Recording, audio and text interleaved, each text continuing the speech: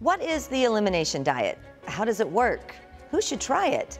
HealthPoint Fitness Nutritional Services Coordinator Laura Vollink has the answers. If you've been experiencing consistent symptoms when it comes to digestive issues, migraines, heartburns, and those symptoms aren't going away and aren't able to be managed with medications or supplements, then you might want to take a look at the foods that you're eating. And this can be done by meeting with your healthcare provider and finding a registered dietitian to help evaluate whether the elimination diet might be the right path for you.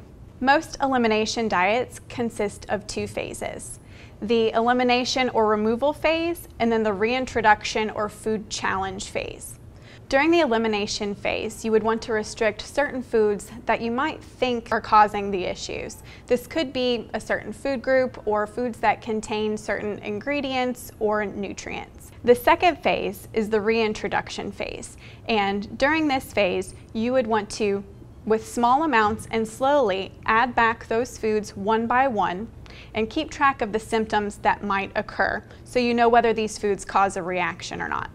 So the most important thing to remember is that you can work with a registered dietitian and come up with a balanced eating plan that incorporates portion control as well as exercise for that more sustainable long-term weight management.